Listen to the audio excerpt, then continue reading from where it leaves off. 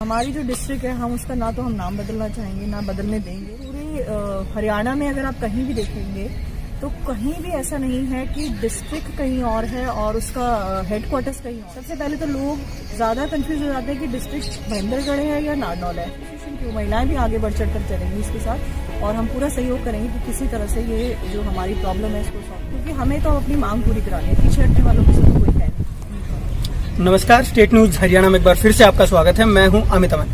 आज हम महेंद्रगढ़ में पहुँचे और महेंद्रगढ़ में जो मुद्दा चल रहा है, वो आप जानते हैं। ज़िले का जो नाम है, वो बदलने की बार बार बातें हो रही हैं और सामने भी निकल के आ रहे हैं और उसी के चक्कर में आज ज़िले के अंदर बंद किया गया था।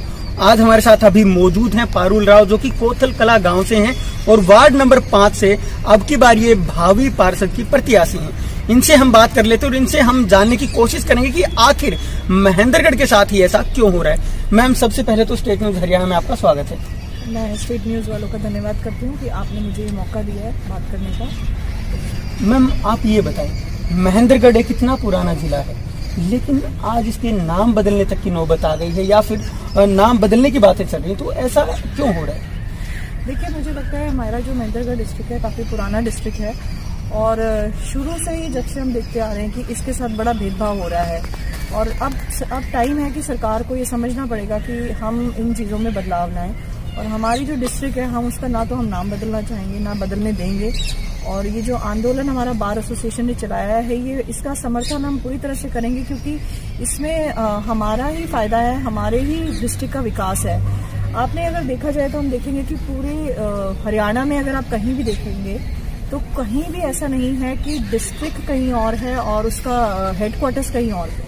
तो सारा जब सब कुछ कहीं पर भी ऐसा नहीं है तो सर महेंद्रगढ़ के साथ ये भेदभाव क्यों किया जा रहा है? तो मुझे लगता है कि यहाँ पे ही सब कुछ होना चाहिए यहीं हेडक्वार्टर्स होना चाहिए इसका। हमें बाहर जाने की ज़रूरत नहीं पड़नी चाहिए। मैम अगर यहाँ पे हेडक्वार्टर्स नहीं है नारनौल में है तो उनसे जो आम जनता है उसको क्या दिखते हैं? ये तो बहुत ही मेजर दिक्कत है क्योंकि कैसे है वो मैं आपको बताती हूँ। देखिए डिस्ट्रिक्ट हमारे, हम महेंद्रगढ़ को डिस्ट्रिक्ट बोल रहे हैं। सबसे पहले तो लोग ज़्यादा कंफ्यूज हो जाते हैं कि डिस्ट्रिक्ट महेंद्रगढ़ है या नारनौल है। और फिर हमारा, जब हमारे पास, हमारा जिला, हमारी ये सब कुछ नहीं है तो हमारे मुख्यालय को हम वहाँ ले जाने से हमें सबसे बड़ी परेशानी है कि हम- हमारे लोगों को बहुत दूर जाना पड़ता है डिस्टेंस बहुत ज़्यादा हो जाता है। दूसरा, हमारा क्षेत्रीय विकास नहीं कर पा रहा उसकी वजह से, नारनौल का ही नाम हुआ जा रहा है।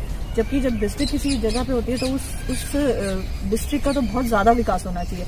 पर इस वजह से कि हमारा हेडक्वार्टर्स वहाँ है तो हमें परेशानी हो रही है। देखिए डिस्ट्रिक्ट लेवल के जितने भी ऑफ़िस हैं, आप देखेंगे वहाँ पे हैं।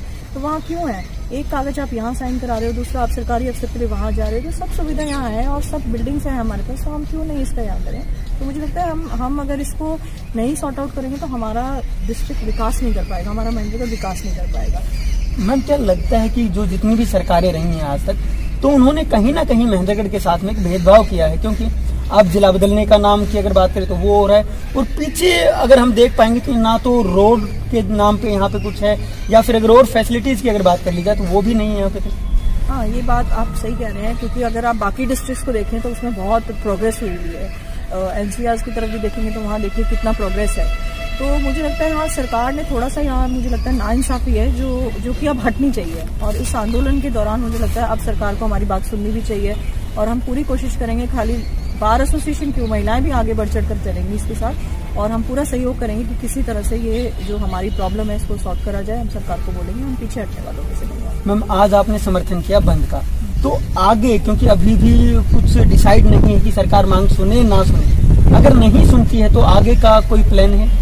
जी देखिए ये तो बार एसोसिएशन जिस तरह का भी जैसा भी जो भी डिसीज़न लेगी आगे के लिए क्योंकि हमें तो अपनी मांग पूरी करानी है पीछे हटने वालों में से तो कोई है नहीं। तो जब तक ये बार एसोसिएशन का जो भी जैसा फैसला रहेगा, हम उसमें उनका समर्थन देते रहेंगे, क्योंकि हमारी बहुत छोटी मांग कोई बहुत बड़ी नहीं है कि हम कोई बहुत बड़ी चीज़ मांग रहे हैं। तो सरकार से हम बिल्कुल अपनी हक की बात कर रहे हैं और होना भी चाहिए। यहीं डिस्ट्रिक्ट है तो यहीं हेडक्वार्टर्स बहुत ज़रूरी भी है। लोगों के लिए बहुत आसान काम हो जाएगा। तो मुझे लगता है कि हम पूरा इसमें समर्थन भी करेंगे और जब तक बार एसोसिएशन के साथ ही रहेंगे। तो चाहे वो जितने भी दिन चले, जितनी भी हमें मेहनत करनी पड़े, अब जो हम मेहनत कर लेंगे, वो हमें बाद के लिए, हमारे लिए, हमारे बच्चों के लिए, आगे लोगों के लिए बहुत आसानी हो जाएगी। ठीक है एक बार अगर स्ट्रगल करना पड़ेगा तो हम ज़रूर करेंगे इसको। मैम एक आखिरी सवाल। जो नारनोल है वहाँ पे सारे हेडक्वार्टर्स हैं आज के दिन लेकिन क्या आप इस पक्ष में हैं कि नारनोल को एक अलग से डिस्ट्रिक्ट बना दिया जाए और महेंद्रगढ़ को अलग से बना दिया जाए? जी वो तो देखिए सरकार पे डिपेंड है हाँ और एक्चुअली अगर उसको भी एक डिस्ट्रिक्ट बना दिया जाए तो वहाँ के लोगों के लिए भी आसानी हो जाएगी। तो मुझे लगता है कि ठीक है दो डिस्ट्रिक्ट बनवा सकते हैं बहुत इजी है। कोई ज़्यादा मेरे को लगता नहीं है सरकार को इतना प्रेशर आना चाहिए और आसान भी हो जाएगा। आप डिवाइड कर दीजिए उस जगह को, थोड़ा कुछ इधर कर दीजिए, थोड़ा उधर कर दीजिए और दोनों जगह को डिस्ट्रिक्ट बना सकते हैं, अगर चाहे तो सरकार। बाकी मेरा तो सारा यही है फोकस हमारा यही है कि हमारे डिस्ट्रिक्ट में ही सब कुछ हो, हमारा विकास, क्योंकि इसी चीज़ से होगा, हम आगे इसी चीज़ से बढ़ेंगे। आप देखेंगे कि अगर जैसे मुख्यालय उधर नारनौल में होने की वजह से क्या हो रहा है कि सारी जो कनेक्टिविटी जो है ना, वो नारनौल की तरफ़ हो गई है, और जबकि इसे महेंद्रगढ़ में होना चाहिए। तो वो कनेक्टिविटी लाने के लिए और आगे बढ़ने के लिए ये मुख्यालय यहाँ लाना बहुत ज़रूरी है। तो मेरी सरकार से बस यही गुजारिश है कि आप इसको हमारी सुनवाई कीजिए और इस पर एक्शन लीजिए और इसको हमारे मुख्यालय को जिला मुख्यालय को हमारे को महेंद्रगढ़ में ही रहने दीजिए ना हमारा डिस्ट्रिक्ट का कोई नाम चेंज किया जाए। बस मैं यही करती हूँ और मैं लोगों से भी यही रिक्वेस्ट करती हूँ महिलाओं से, बाकी सब लोगों से कि भाई आप बढ़ चढ़कर इसमें हमारा साथ दें। और ये हमारे फ़ायदे के लिए बात है तो हम सब मिलकर अगर करेंगे तो ज़रूर हमें मिलेगा। वो कहते हैं ना एकता में बल है तो हम एक होकर चलेंगे तो मुझे लगता है कि हमें सक्सेसफुल होंगे ज़रूर। मैम स्टेट न्यूज़ हरियाणा को अपना कीमती वक्त देने के लिए आपका बहुत बहुत धन्यवाद। आपका भी धन्यवाद। थैंक यू तो आप देख सकते हैं कि जिस प्रकार से मैम ने बताया है कि यहाँ पे लगातार जो महेंद्रगढ़ है उसके साथ भेदभाव होता रहा होता आ रहा है लेकिन अब आगे ये लोग जाग चुके हैं और आगे ऐसा होना नहीं चाहिए, क्योंकि मैम ने बताया कि आगे महिलाएँ भी अब निकल के सामने आ रही हैं और वो भी चाहती हैं कि महेंद्रगढ़ के साथ इस तरीके का जो भेदभाव है, वो ना हो। बार एसोसिएशन एक बार फिर से सामने आ चुकी है और वो धरने आंदोलन सभी कुछ करने के लिए तैयार है और यहाँ के जितने भी लोग हैं, वो उनका साथ दे रहे हैं, समर्थन दे रहे हैं। साथ साथ इन्होंने ये भी कहा कि अगर नारनौल को अलग से डिस्ट्रिक्ट बना दिया जाए तो भी इनको कोई प्रॉब्लम नहीं है। मैं अपने सहयोगी मनोज के साथ अमित अमन, स्टेट न्यूज़, हरियाणा।